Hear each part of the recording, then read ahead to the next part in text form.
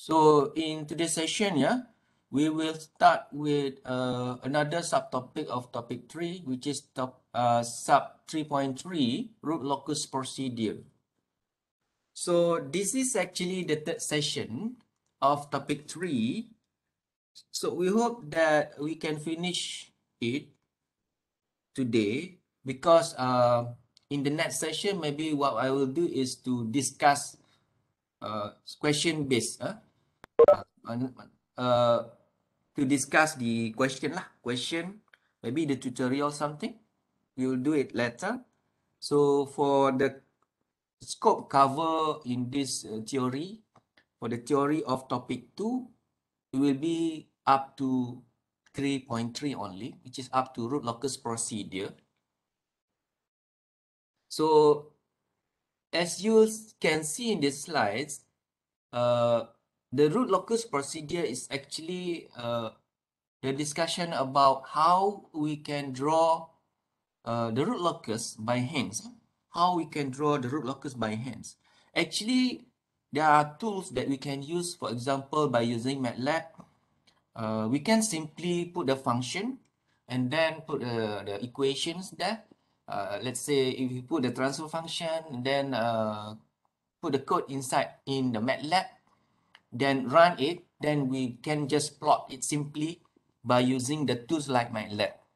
But still we'll need to uh, do, do it manually like this, which is uh, by hand sketching, uh, hopefully we can understand more.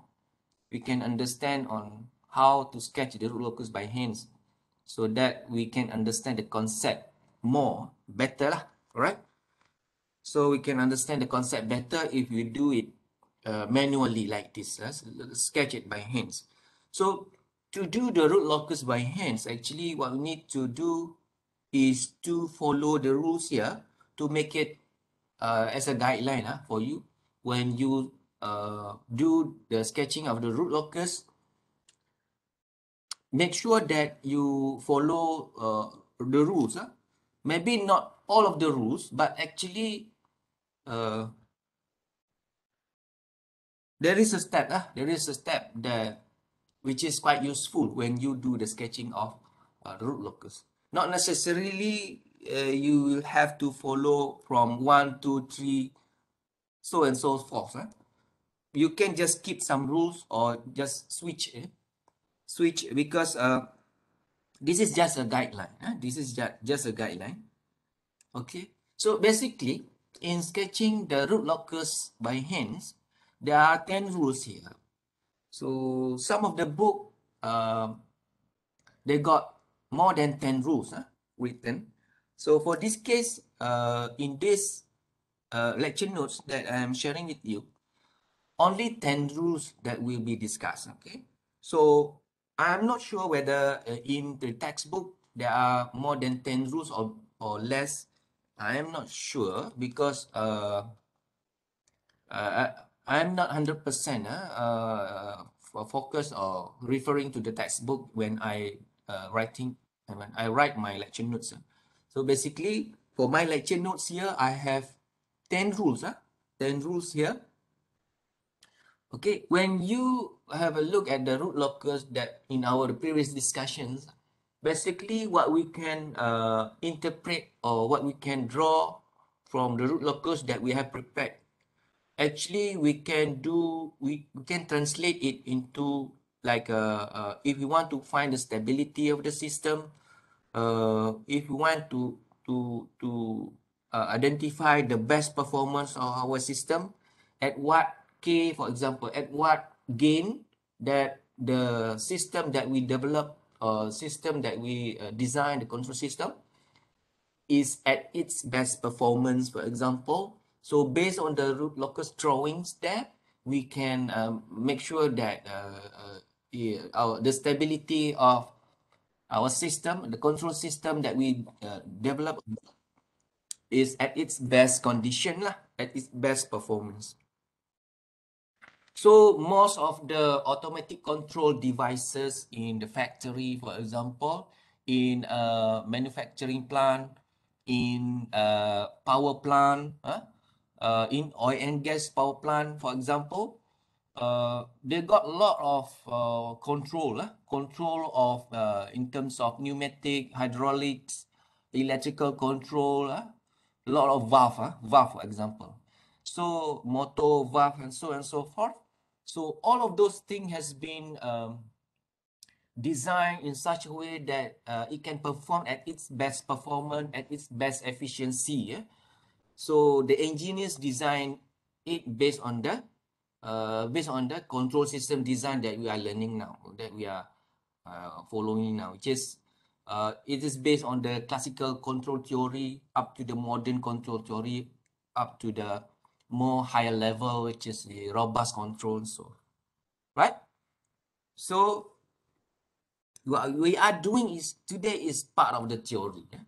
So, root locus procedure, root locus hand, uh, sketching by hand is part of the uh, theory about the the the larger uh, area, uh, larger area of the discipline about uh, control. Huh? Control. All right. So root locus got uh, uh, some properties uh, and such as the start point and symmetrical properties of the root locus. And so basically when we want to draw the root locus, we need to, so, to follow some rules, which is rule number one. Rule number one stated that locus is symmetrical about the real axis. So locus is symmetrical about the real axis. Open loop poles are marked as X ataupun cross. Okay. And open loop zeros are marked as zero. We can say as open loop zeros, open loop poles. But actually, in the short term, we can say it is poles or zeros. Huh? Poles are marked as cross. Zeros are marked as bulat ah, huh? ataupun ni if you can have a look on my right hand side here in the lecture notes we can just draw the pole as cross the yellow one and the zeros as bulat ataupun dia punya round lah. Uh, okay. So that is zeros that is poles uh. so we have another pole location here which is the red one marked as cross red cross here So this red red poles, red colored poles is on the real axis. Eh? The red one on the real axis. Eh? The pole on the real axis. But the yellow pole, it is somewhere, uh, uh, it is somewhere on the real and imaginary, yeah? which is away from the real axis and it comes in pair. It comes in pair because this is the complex conjugate. For example, if you solve for the characteristic equation that have two roots, uh, that has two imaginary roots, suppose that you will see when you plot the, the pole location, you will see that the pole location should be symmetrical like this, which is the like the yellow one here. Okay? So that is quite simple when we want to translate what is the rule number one. It is about uh, how we plot, uh, how we sketch the pole location and zero location using the symbol of cross and bulat. And bulat like this, right? Okay. Then Uh, with the open loop transfer function, the poles can be determined based on the denominator. Okay, denominator is, is the equation of the bottom line, huh? which is the characteristic equation. So as you can see for this characteristic equation, s plus 2, s plus 4, s plus 9, clearly the poles are at uh, negative 2, negative 4, and negative 9. Okay, that is the poles. For the zeros, for the zeros, it is the numerator root. Okay, root of the numerator, which is in this case, the numerator equation is ks plus 6. So that simply, if we force this ks plus 6 into 0, we force this equation to zero, then we get s, the root s is negative 6. So zeros for this uh, uh, uh, transfer function is negative 6. I think that one is also clear. So we have established this uh, uh, discussion uh, in our previous subsections as well. Okay, basically when we want to determine the poles, we find the root of denominator or the characteristic equation. When it comes to finding the zeros, okay, we will find the root of the numerator. Okay, okay, clear? Now, how about second rule? Yang ni saya akan sebut based on theory dulu eh, based on the theory eh. Kalau gelak gambar ataupun gelak gambar. Kalau tak clear tu uh, nanti kita akan pergi kepada uh, example lah. Uh, example. Okay. I'll show you uh, example question and we will try to discuss on how to sketch uh, the pose following the rules here and uh, following some of the rules here so that we can sketch uh, the root locus by hand. Okay, so this explanation is basically uh, theoretical explanation. Okay, the second rule. The number of numerators root indicate the number of zeros. Okay, the number of numerators root indicate the number of zeros, which is, for example, how many zeros for the equation that we have solved just now? For this equation, how many zeros? Okay. Number of zeros is 1 eh, for that equation. Alright. How about uh, number of poles? How many poles? Huh? So kita ada 1, 2, 3. Maksudnya for this uh, transfer function, it has 3 poles and 1 zero. Okay. Kalau negatif 6 itu adalah zeros. Maksudnya uh, the root. The root, uh, the coordinate on S-plane. Uh, the real coordinate on S-plane. Similarly, for uh, yang ni juga, negatif 2, negatif 4, negatif 9, 9 tu, negatif 9 adalah dia punya root. Which is, in this case clearly, the root is located at the real axis ha? which is the real number saja tak ada imaginary part ha? so the real number saja untuk yang uh, poles ha? tiga poles ni which is we can imagine that all of these poles location are on the real axis okay so kalau saya tanya berapa zero berapa poles jangan jawab katalah uh, berapa poles so negatif 2, negatif 4, negatif 9 tu salah. Okay, berapa poles kat sini maksudnya ada 3 poles. Berapa zero? Satu zero. That is rule number 2. So in addition for the rule number 2, the plot of the root locus must be done on a linear graph paper. Basically, we can just plot it on a linear graph paper with the same scale. With the same scale. Not logarithm not log huh? bukan log huh? it's not log but suppose that when we want to plot it we plot it on a linear graph huh? linear graph okay next rule number three. Rule number three. Dalam cerita taksi taksi ke dalam cerita apa ah? Dia ada rule kan? Uh, dalam cerita bukan taksi.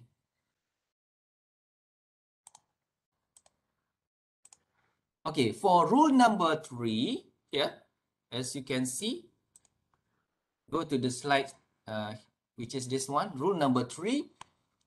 The number of branch is equal to the number of open loop poles.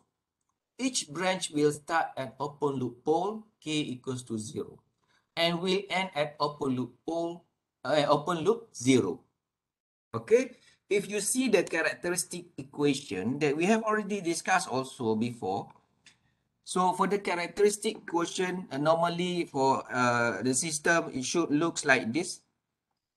Uh, for the uh, negative feedback closed loop system, the characteristic equation should look like this, which is 1 plus GH, GS, HS, right?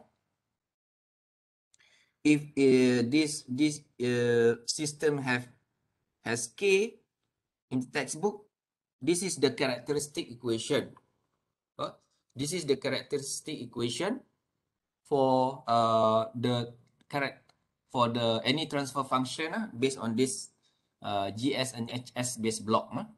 So for this characteristic equation, if we start it from k equals to 0, it should start from pole. It should start from pole. And then as k approach infinity, as k approach infinity, as you can see for the, uh, when k approach infinity, when k is 0, we have the equation that divided by 1. Huh? We have the equation that the transfer function is divided by 1. But when k is approaching infinity, we have the equation that divided by infinity, meaning that that whole equation of the transfer function approaching 0. So that is the thing when we plot uh, when sk is vary uh, from zero to infinity, basically uh, it start from open loop poles. Okay, it start from open loop poles here. And then the locus is moving toward zero. The locus will be moving towards zero. If we have two poles and one zero here, suppose that uh, the locus at zero here at zero uh, root root of zero here will start at this pole and to the zero on the left hand side and then there is no locus here here there is no locus no branch no branch all right the red one is locus or branch lah okay so for this particular pole It also has branch or locus, which is as the k increase up to infinity, the locus will be moving to the left hand side of the real axis, which is toward the infinity. Alright.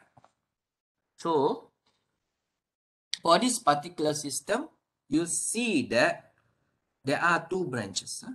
There are two branches, which is number of branch is equal to the number of open loop poles which is we have two poles meaning that we will have two branch we will have two branch and it will start from cross ataupun poles to zero kalau tak ada zero sebab zero ada satu saja yang pole yang satu lagi akan start pada cross yang yang uh, koordinat mereka sini ke terus ke infinity. Maksudnya zero tak ada tapi dia akan pergi ke infinity lah. Sebab k k k bermula daripada kosong hingga infinity kan. Alright? If the system does not have zero the locus will end at infinity okay when the value uh, when the value of k approaching infinity the number of locus that will end at infinity the equation okay So dalam kes ni kita ada lo dua locus ha. Okey, dua locus. Satu yang ni, satu yang ni. Okey. How many locus that will reach infinity for We can actually determine uh, based on the equation to to determine how many locus that will reach infinity. Okay, let's say uh, the equation is represented by this b infinity, which is the number of locus that will end at infinity, represented by b infinity, is summation of pole number of poles minus number of zeros. In the previous case, here, we have two poles, meaning that number of poles is 2 and uh, 0 is 1. So there is only one locus that will approach 0. So only one locus that will approach 0 which is this one. Huh? This locus will approach 0. So that is how to use that equation. Okay, how to use that equation. So let's say I want I would like to ask you how many locus that will end at infinity for the system with two poles but no zero. The system with two poles here with no zero. So simply we have two poles minus zero zero lah. Zero zero which is two locus. Huh? Ah. Two locus that will end at the infinity. Alright. So as you can see clearly, one pole is located at 0, another pole is located at negative 4. If we draw the locus for 0, okay, so it should start from uh, the the right side, right hand side of the pole, traveling, moving toward left, and then there is a point here. There is a point. So that is a point which is the breakaway point.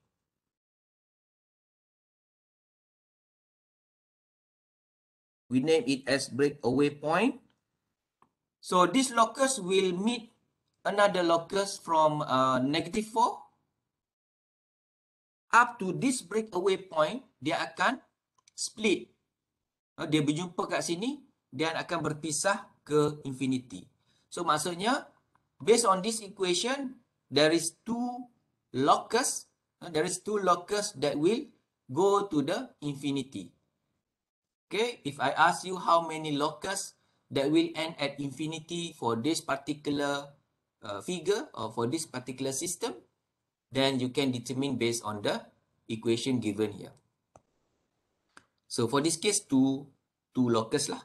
two locus will end at infinity.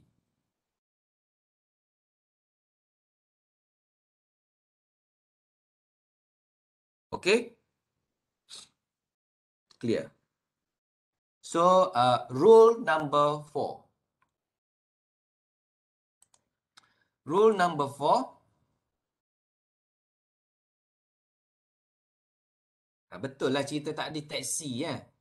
Tajuk dia taxi lah. Ada taxi one, taxi two. Tak saya ingat lah. Okay, rule number four. Alright. The branch that will end at infinity uh, will move toward infinity are based on the following asymptotes. What is asymptotes? Tadi kita jumpa breakaway point. Ha, the term breakaway point here. Okay, itu satu term. Ha?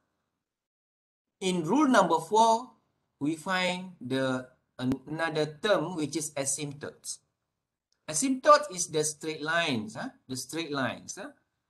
So, uh, tadi kita, uh, saya cakap, uh, dia akan jumpa dekat breakaway point. Eh? Breakaway point somewhere here lah. Somewhere here. Okay. So, dua locus ni akan bertembung dan berjumpa di breakaway point eh, which is somewhere here dan berpisah satu akan ke infinity negative infinity satu akan ke negative infinity of the imaginary axis satu lagi akan ke positive infinity of the imaginary axis okay satu akan ke atas, satu akan ke bawah sampailah infinity. So kita nak determine dia punya angle of asymptote. Ya, rule number four, we can determine the angle of asymptote. So kalau dijumpa tu, kadang-kadang dia jumpa dia akan bergantung kepada angle lah. Okay, katalah angle of asymptote here is 60 degree daripada horizontal ni, daripada horizontal ni. Uh, reference dia kat sini. So dia punya uh, lines ataupun asymptotes tu adalah this one. Okay. So this is the asymptotes. So angle of asymptote is this one. 60 degree ni adalah angle of, of asymptotes. For the case that is uh, the one that you are looking at this one, okay, one of the angle of asymptote is 90 degree. Another angle of asymptote is 270 degree. How do I get these two angles of asymptote? It is based on this equation. Okay, it is based on this equation. For example, uh, uh, if we have number of poles of 2 and number of zeros of 0, then using this equation, we can determine the angle of asymptotes. Just by substitute uh, the start from Q equals to 0, Q equals to 1. Dua saja. Bila kita masuk Q sama dengan 3, dia kembali kepada it is moving back to the uh, similar angle to the previous one, which is 90 degree. Biasanya kalau ada dua poles, kita akan pergi ke hingga number satu saja. Kosong dan satu. Okay. Kita guna Q ni antara kosong dengan satu untuk dua poles. Ha? Okay. So angle of asymptotes for this locus, red locus and green locus here is 90 degree and 270 degree, which is, as you can see, if I draw the line of asymptotes here, it is vertical line lah, uh, vertical line. So rule number four is about angle of asymptotes. Okay, rule number five. banyak rule lah. Banyak rule ni. Kalau dekat Malaysia sekarang rule ni dah macam SOP lah. SOP. Pergi situ SOP. Pergi sana SOP. Pergi pergi stadium SOP. Pergi masjid SOP. Pergi pasar SOP. Banyak rules lah kat situ. Walaupun SOP tu ada, rules tu ada, tapi orang tak follow. Tapi orang still complain lah. Dah pergi stadium, boleh ha, crowded lah stadium tu, boleh je. Pergi surau, pergi masjid, pergi rumah ibadah, uh, kena jarak-jarak, tak boleh duduk sesak macam tu kan. Tak boleh rapat-rapatkan saf. You know, people is always complain lah. Walaupun uh, sebenarnya, tak kira dekat masjid ke, dekat stadium ke, SOP tu ada sebenarnya. Cuma orang tu tak follow kan. Orang tak follow. Orang yang pergi tu tak follow. So bila macam tu orang bercakap lah. Bercakap benda-benda yang tak tak penting kan. Tak penting. Just nak bercakap je. So daripada bercakap benda yang tak tak perlu. Uh, kita fokus pada kita punya ni lah. Rules number five. Alright. Rule number five, uh, root lossy on the real axis. Root lossy on the real axis. Okay, rule number five ni, uh, kalau tengok ayat saja susah nak, uh, macam susah nak tangkap ah, susah nak tangkap. Perlu ada sedikit explanation ah.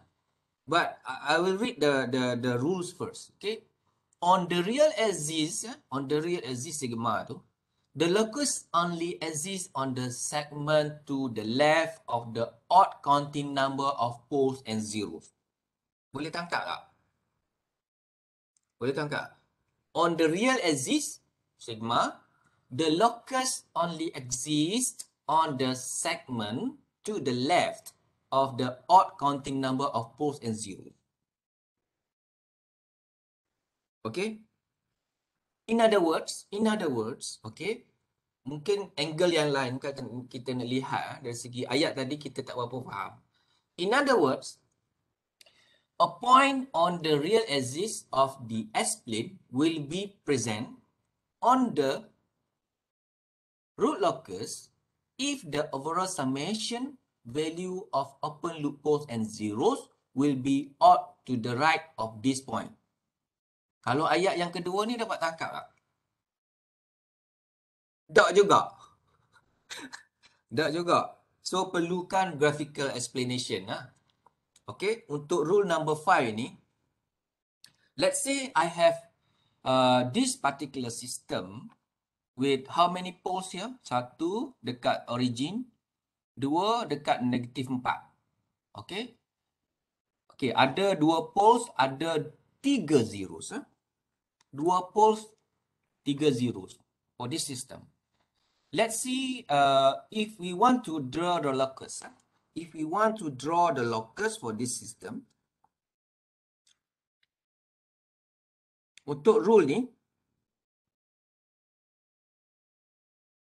untuk rule ni uh, applies for real exist root locus saja.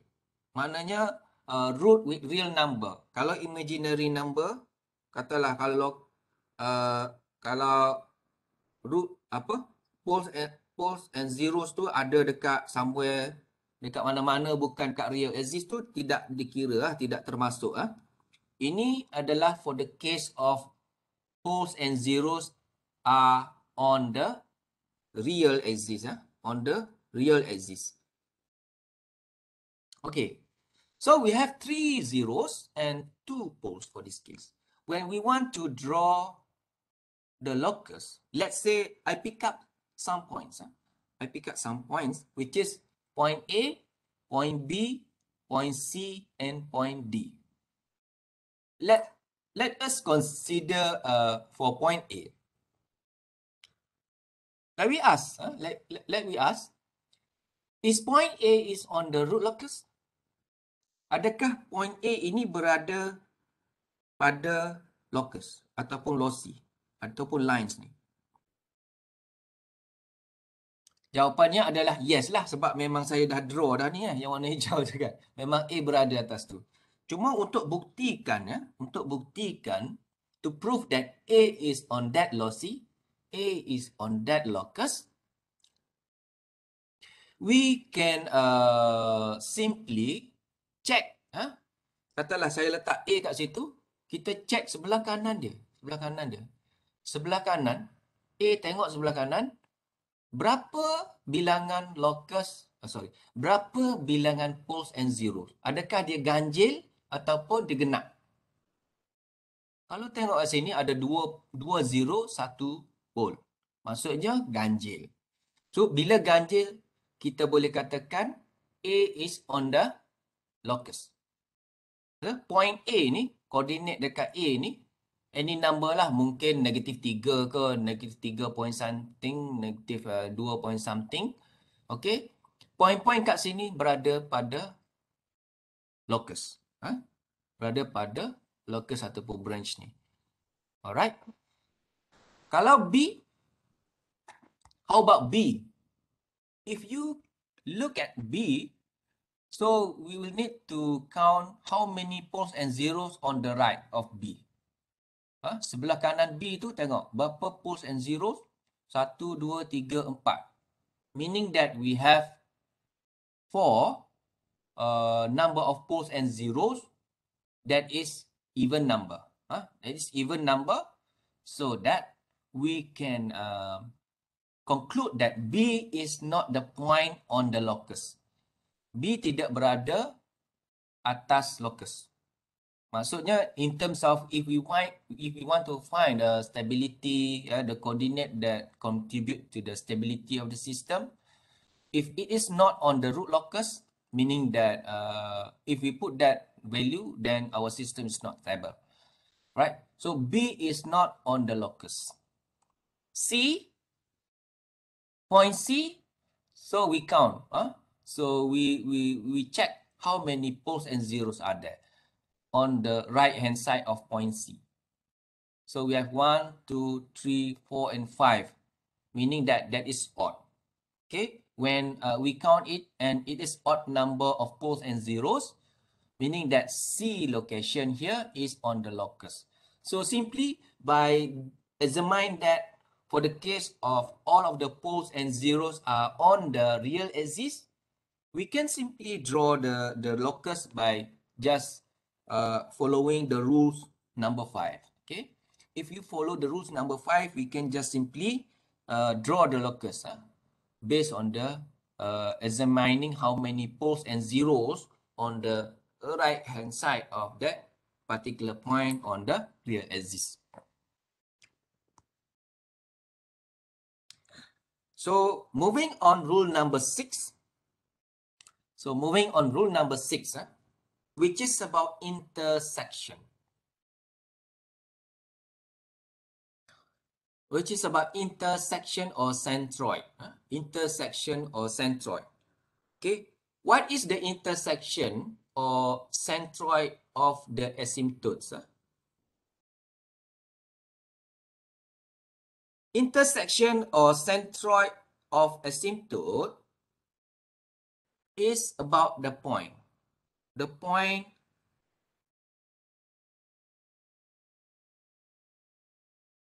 that the two locus dia intersect each other which is the centroid lah. Sama lah uh, dia guna term centroid and also uh, intersection. So for this particular case the intersection as uh, is at this point. Okay?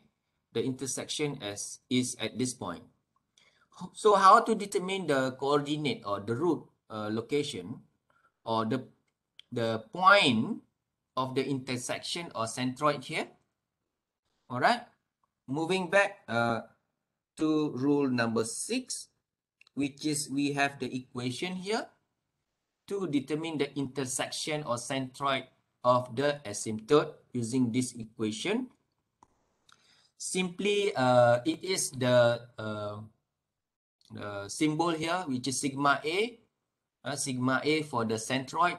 We can determine it by uh, summing up all the real part of the poles, real part saja, imaginary part tidak kira, all the real part of the poles minus all the real part of the zeros divided by number of poles minus number of zeros.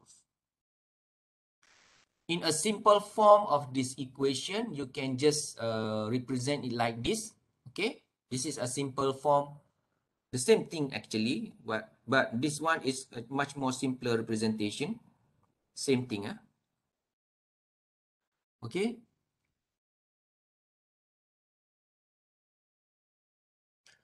So let's say i have this sort of uh, transfer function with k s plus 6 divided by s plus 2 s plus 4 and s plus 9 all right for this particular transfer function So we have clearly we have the number of poles of negative uh, sorry we have poles of negative 2, negative 4 and negative 9 and we have zeros of negative 6 huh? just one single zero single zero only. So by looking at this uh, root location of poles and zeros we can just use this to examine what is the centroid huh? using this equation. So using this equation, the centroid is we sum up all of the poles, uh, all of the poles location minus all of the zeros location. Okay, minus negative C ah, sebab satu saja zero. So the centroid is negative at the negative 4.5 lah for this case. Okay, so the centroid for this case is at negative 4.5. So that is the rule number six to define or to find the centroid of the of the uh, root locus of centroid of the asymptote by using that equation. Centroid or intersection of asymptotes ni apa?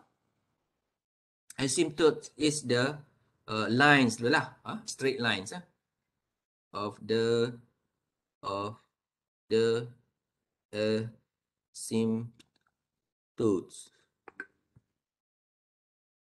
All right, rule number seven. What is the rule number seven? Okay, we take a break.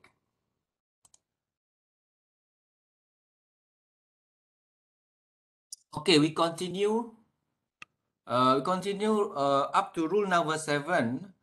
Uh, I just noticed that I didn't scroll the uh, my slides here up to rule number seven, but actually it is the same, yeah. It is the same as the lecture notes here.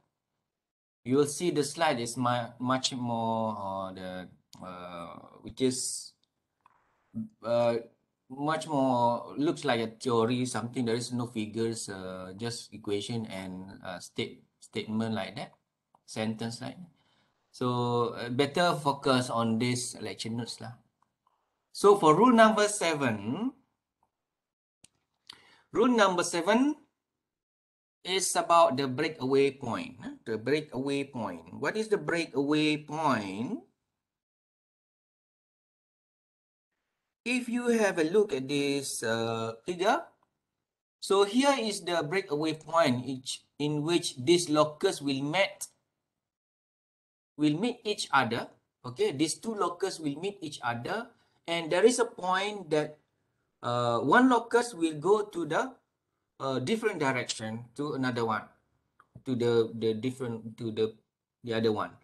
Okay, which is uh, we can say that the symmetrical point eh? the point that uh, that locus is break break away uh, break in ada break in eh? ada uh, istilah break in ada juga istilah break away so break away point of the locus can be determined by solving dk over ds equals to zero because uh, if you have a look at the equation of the characteristic equation okay so in the form of k and then you rearrange the k as a function of s and then get the dk over ds equals to zero okay do the derivation of that equation until you get uh, what are uh, root? What are the root point okay uh like what what are the point of s which is what what is root of s when you you derive dk do derivation of dk over ds. Okay? So when you do the dk over ds let's say for the quadratic equation you can have two 4.10 or negative 4.10 or negative 2.1 for example you will uh, get uh, two points when you solve this uh, dk over ds for the quadratic equation, for example. Okay, to get the breakaway point, simply we can do the dk over ds equals to zero. So k is derived from the characteristic equation. Lah. K is derived from the characteristic equation, not the transfer function, but the characteristic equation, which is the denominator. Or we can also use this sort of equation. So this equation also can be used when we want to determine the uh, the breakaway point, which is uh, uh, using this equation simply for that particular example, for this example, okay, for this particular example here, let's say I have the transfer function like this. If I want to use that equation, if I want to use this equation,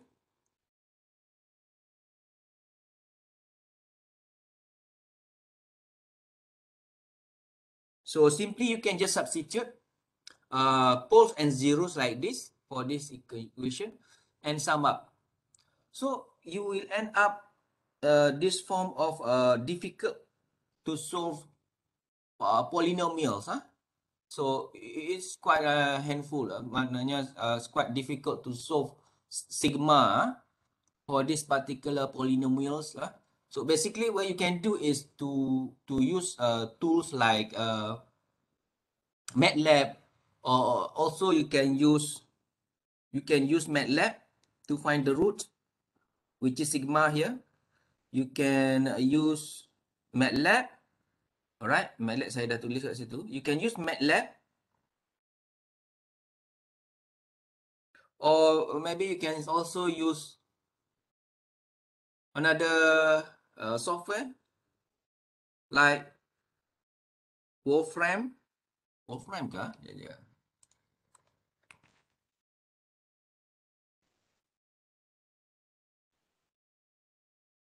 Wolfram alpha to solve uh, algebra, uh, polynomial, huh? You can use Wolfram alpha to solve for any uh, equations lah to find the roots, for example. There are many other things that you can use. Huh? So for the algebra, plotting and graphics and so on. So calculus and analysis, yeah. Calculus and analysis.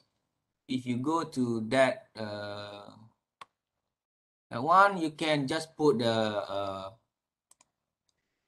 uh, equation that you want to solve. So this is another option lah. Other than uh, MATLAB, you can use Wolfram Alpha. Alright. So for rule number seven, this is basically about to find the breakaway point, which is we can just use dk over ds equals to zero or uh, using this equation and get the most realistic number. For example, if uh, the breakaway point, let's say I have the locus that start from uh, 0. So from 0 and negative 4, let's say I'm going to draw a locus here. Start from negative 4 and another one start from zero. Okay. So the breakaway point supposed to be there. Mm.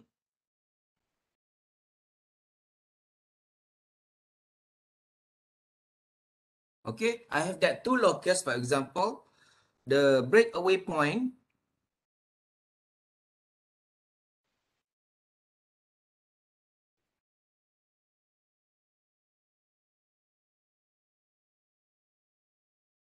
the break away point supposed to be uh, in between 0 and negative 4, right?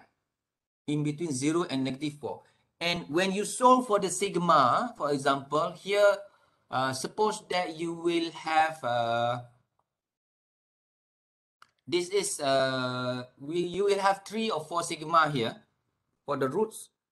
So let's say the first sigma is uh, negative 5.6. Another sigma is negative 4.2. Another sigma is neg uh, positive number of 1.2. So the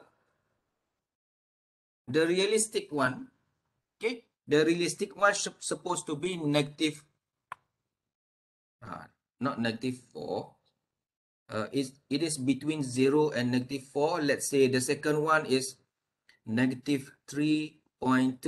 Okay. So, negative 3.2 supposed to be the realistic one uh, to be the point in between negative 4 and 0. Yang yang yang yang ni bukan ah. Yang ni bukan. Ni pun bukan lah. Alright. So you select one point which is the break away point for this particular system is negative 3.2, right?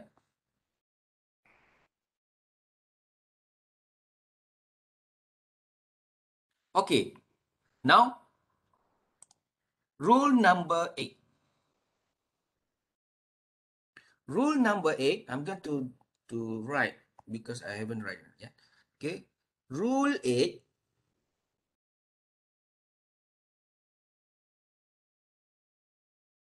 states that the locus intersection with the imaginary, the locus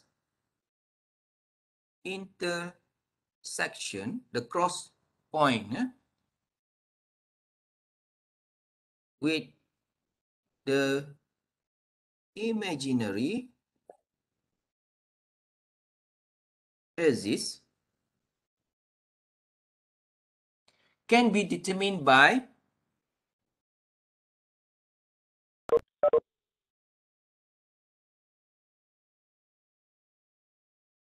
substituting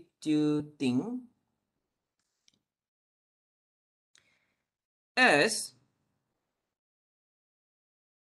substituting as in the characteristic equation with J omega and solve for S. Maknanya kita ganti aja J omega tu dalam S. Okay. Katalah kita ada characteristic equation. Kita gantikan J omega. Kita gantikan S sama dengan J omega. Masukkan dalam equation tu. Then kita solve. Then we will get the point where the locus will cross the imaginary axis. Okay, saya tak habis lagi. Ya.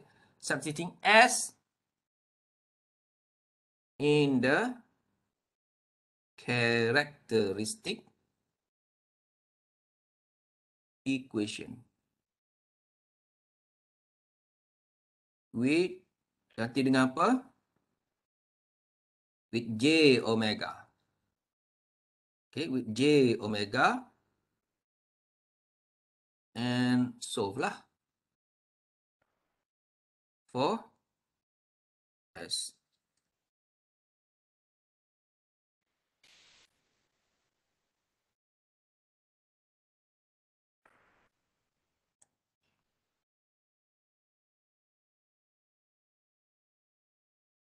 Okay.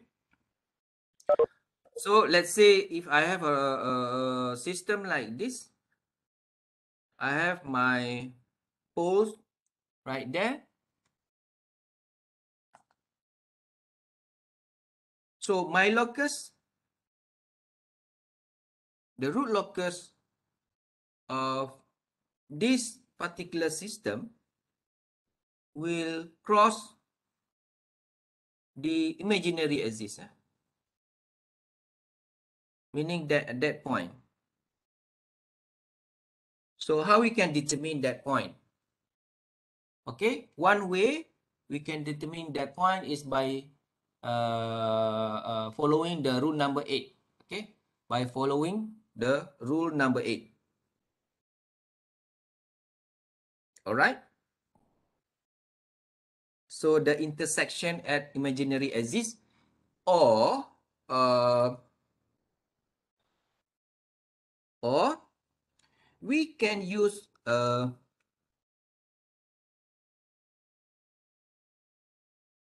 kita panggil Routh array. Routh array. Let's say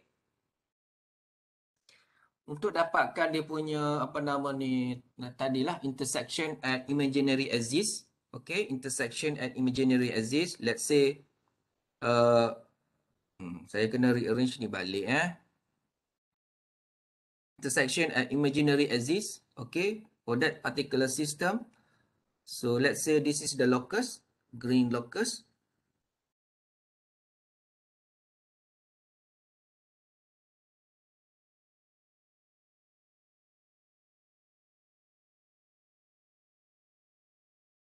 So intersection supposed to be that point lah. Okay. Ada positif J omega, negatif J omega. Eh? So intersection, that intersection, we can determine that intersection also by using Routh array. Huh? Ha? Routh ni kita tak, kita tak belajar, kita, uh, dia ada dalam somewhere. Eh? So basically, it is sim just simple when we want to use Routh array let's say if I have a I have a characteristic equation.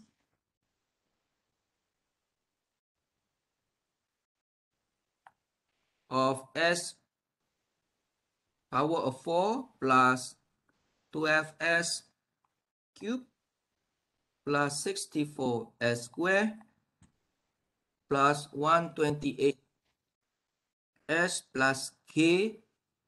Okay. If I have this characteristic equation, how to use the Routh array to solve for the uh, uh, yang point tadi. Yang point tadi apa?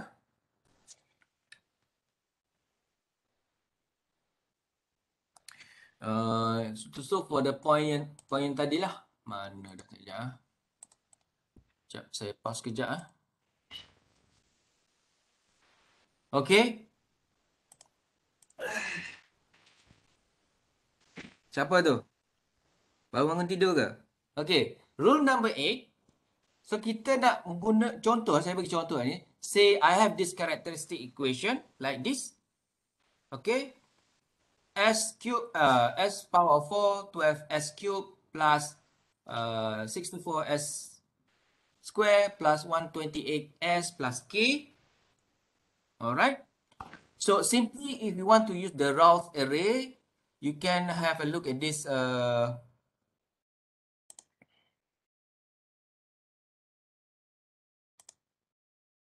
have a look at this example based on the uh, example that I take from a textbook. Huh? So we have this sort of uh, characteristic equation. If you want to use the rough array for this characteristic equation, simply we can just uh, solve for this bracket first. Huh? So we represent it like this. Okay, we represent it like this. Then we arrange it uh, start from S4, S power uh, 3, S power 2, S power 1, and power 0. Then uh, we put the number with this coefficient. Okay.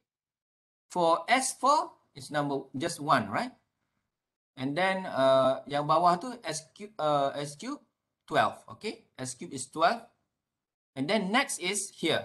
Next is here, which is 64 net is 64 put it here and uh, next is 128 put it here letak sini letak sini place it over there and over there.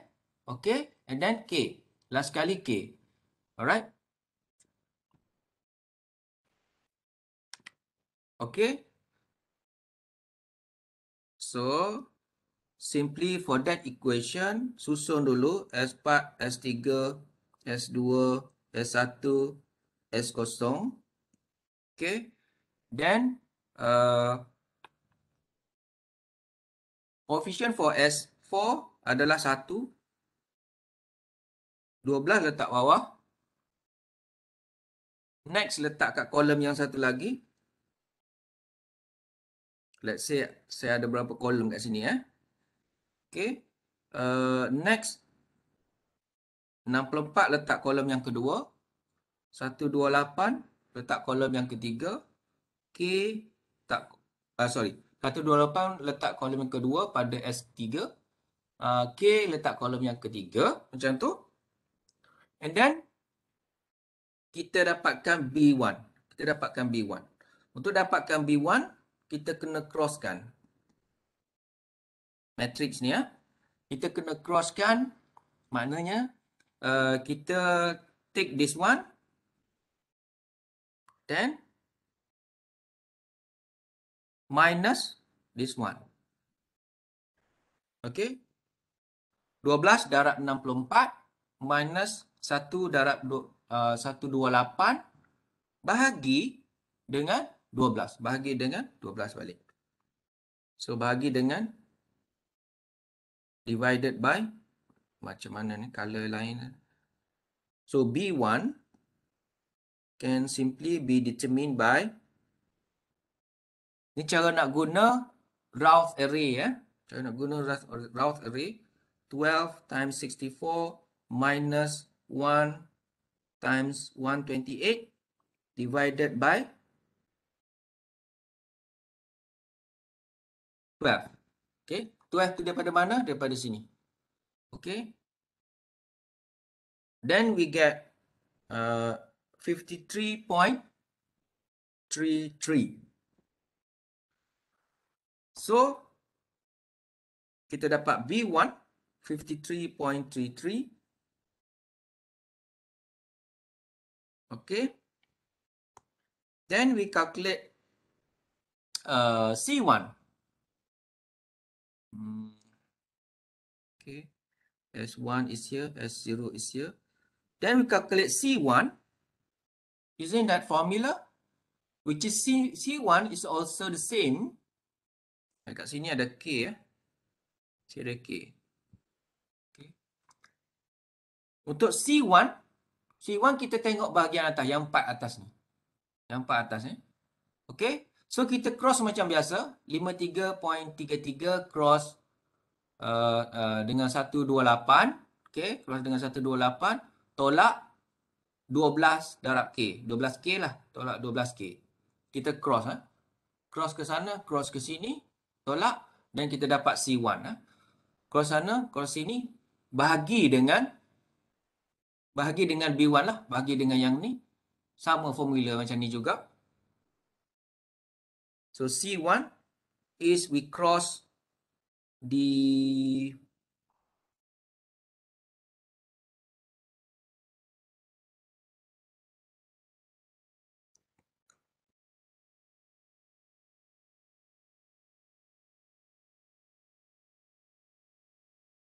Okay, minus uh, bagi dengan B1. Then uh, we get uh, C1 here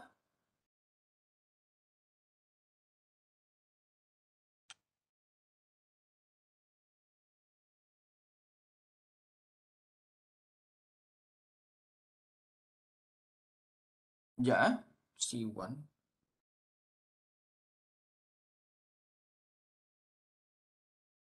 Sekejap, saya pause sekejap eh. Okay.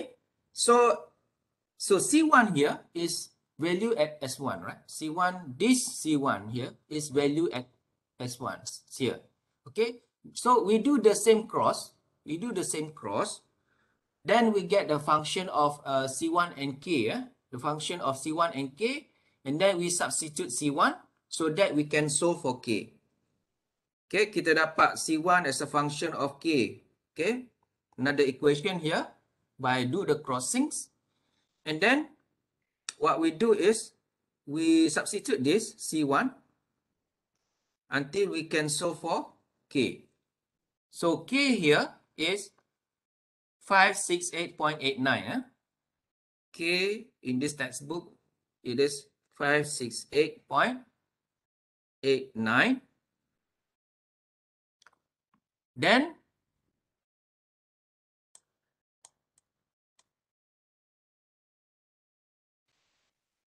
then uh,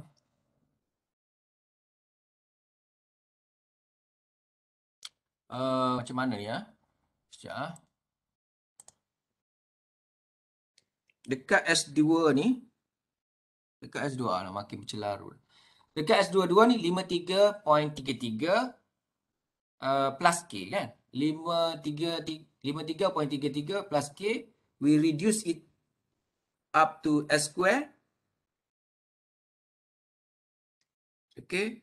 53.33 S square plus K. K is 568.89. So kita solve yang ni. Kita solve yang ni. Uh, we can just rearrange it. Rearrange it. Tadi daripada S kuasa 4 kan. So kita reducekan sehingga S kuasa 2 supaya kita dapat solvekan kepada dua uh, imaginary roots for S. Okay. Uh, tak nampak jelas kat sini. Saya nak nak zoomkan full screen kita solvekan ni sehingga kita dapat eh, daripada equation ni which is here. Which is here s square is 53.33 for b1 plus k eh, plus k. K we just solve for k just now. Okay using the rough array ni kita dapat k. Then we represent uh, in the form of s square saja. Okay, which is 53.33 s squared plus 568.89. So we simplify this equation to solve for the root, huh? for the root s. Okay, so once we simplify it until we get this form, which is we have a complex conjugate eh, for the root s. Okay, so we have s equals to negative J3.266 and also positive J3.266. Okay, so plus minus uh, J3.266 uh, for S. So that is the imaginary crossing, eh? imaginary crossing. So let's say for the equation just now, for the solution just now, we get uh, J 3.266 on the positive part and the other one is negative J 3.266 which is on the negative part of the ah, saya tak tunjuk eh. So bila kita move back to this uh, this uh, plot of root locus, you will see that the crossing at the imaginary axis based on the uh, Routh array here is at J 3.266 and also negative J 3.266. Okay, here and there. Okay, so using the Routh array, basically we can just uh, simply rearrange it to this form. Okay, then solve for B1 and C1 until we can reduce the equation up to this one and arrange it in the uh, complex form so that we get the uh, complex roots. Huh? Complex root plus J omega and minus J omega. Dua roots kat situ. So that we know that the uh, the imaginary axis crossing happens at that point. Okay, at that point, which is the imaginary crossing. Alright. Oh, letih eh. Nombor 8 ni. Okay. Rule number. Nanti saya kemaskan balik ah. Rule number 9. Rule 9. Nombor 8 susah sikit. Ha? Okay, rule number 9. it is the locus departure angle from the compact pole is given by this equation. So this is from uh, from textbook. Huh? I don't want to use that uh, that equation which is looks uh, a bit complex. Huh? So for rule number one, basically I'm going to uh, focus on my my my notes here. The locus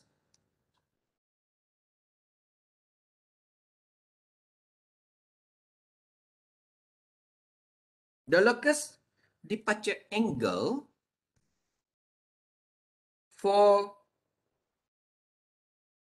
from the complex pole is given by 180 degree uh, symbol dia phi d eh. Phi d equals to 180 degree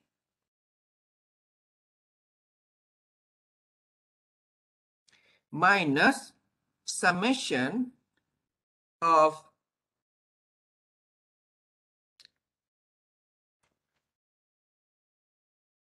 pulse angle pulse angle minus summation of zeros angle. Zeros angle. Okay. Uh, susah sikit nak tangkap eh. Okay.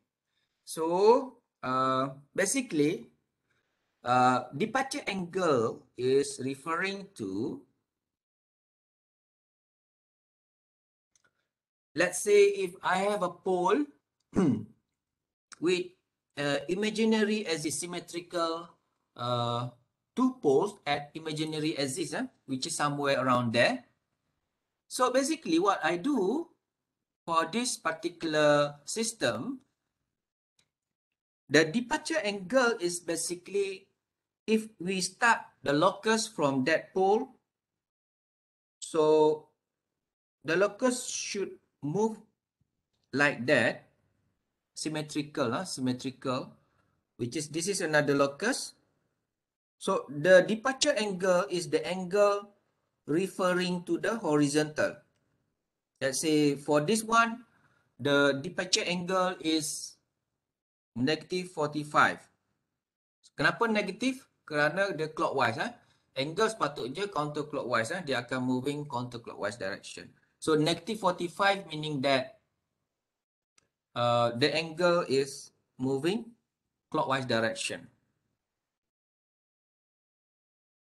So for this one is, of course, this one is 45 degree lah. Dia symmetrical.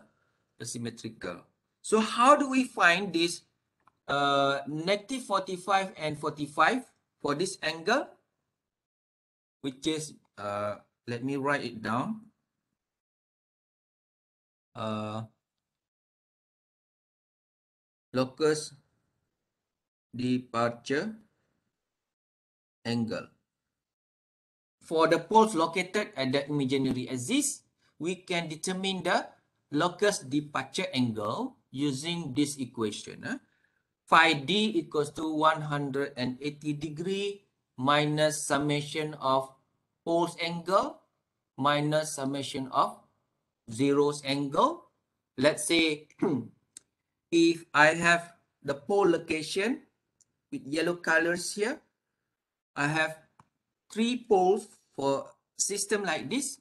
Okay. Three poles of the system here. Uh, using that equation, phi d, phi d equals to 180 degree minus summation of pole angle. So we have only poles here, so no zeros, so no zeros angle no zero. So we can just full uh, solve for the uh, poles angle sahaja. I'm going to use the blue color to show it clearly.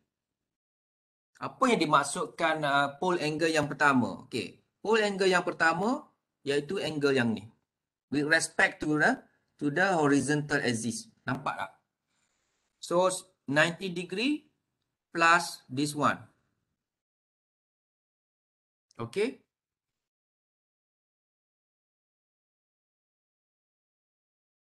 So 90 degree plus that one. That is basically if you are referring to this, uh, the first pole, it is located at the minus 1 plus j. Yang ni pula plus 1 plus j. Maksudnya di situ dia berada pada uh, separuh daripada 90 degree kan. Okay. Ha, kalau you solve this uh, angle lah, angle of this from imaginary axis, it is 45 degree. Okay. So dia bagi dia bagi sama sama bahagian lah kalau kedudukan uh, koordinat dekat sini. Alright. So that is the blue one here is 45 degree. This one is 90 degree. Kita tambahkan dua-dua ni angle dia adalah uh, 135 degree. Yang tu yang pertama, eh. yang tu yang pertama. Yang satu lagi, kita uh, sebenarnya kita pick up salah satu point. Eh. Kita pick up salah satu point. Let's say saya pick up point yang atas ni lah. So satu angle antara pole ni dengan pole yang yang ni, pole dekat origin, angle with respect to the horizontal plane. Okay. Yang kedua angle dia daripada pole atas tu ke pole yang bawah with respect to the horizontal plane and this angle is also 90 degree lah. 90 degree So we sum up 135 degree.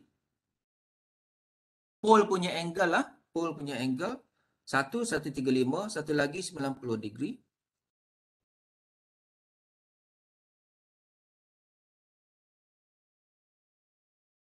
Ya, tukar color je. Okay. And then we get the phi d. Uh, berapa phi d tu? Negative 45 degree. Okay. That is why we get phi d is negative 45 degree. Negative 45 degree. That is that one. Huh? Yang ni. So pole departure angle for uh, for this particular pole at negative 1 plus j here is negative 45 degree. And then these two poles are symmetrical to each other, meaning that uh, the other one, uh, the the the dia punya partner dia kat bawah tu adalah plus 45 degree lah. Right? So that is about pole departure angle lah. Pole departure angle. Okay. Next is the rule number 10. Next is the rule number 10.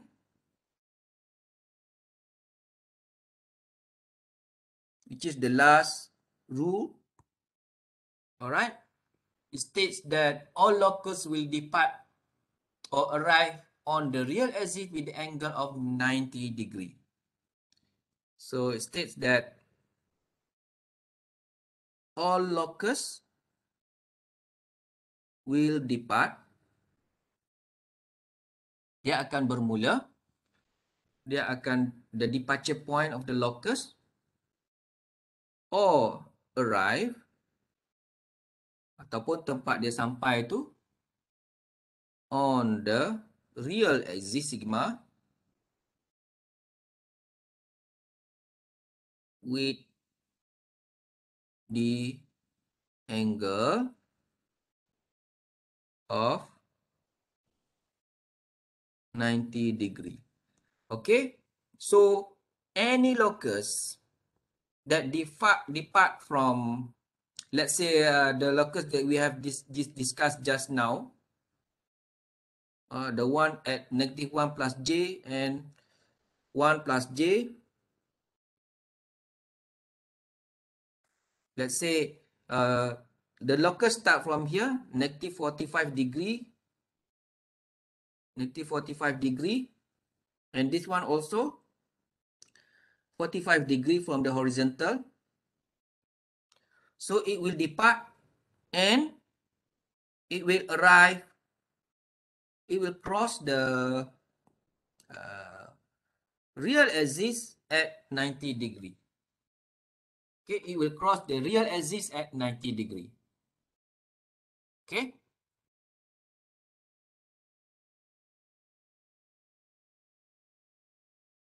All right.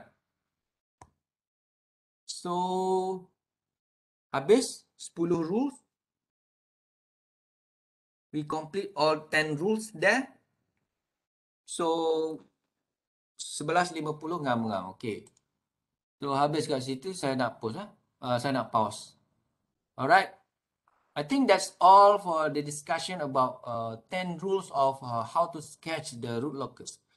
So the root locus procedure 3.3, which has been discussed theoretically. Yeah? Theoretically, which is uh, if you uh, just listen, just listen without doing something, like without doing anything, of course, it is hard for you to understand. Because this is mathematics what we need to do is uh, later. What we need to do later is by doing the exercise questions and also uh, some tutorials later so that uh, by a few exercise we can understand uh, what is actually uh, we can understand each of the rule uh, that's been described in this section. Okay, so I'll start, I would like to stop here for my recording.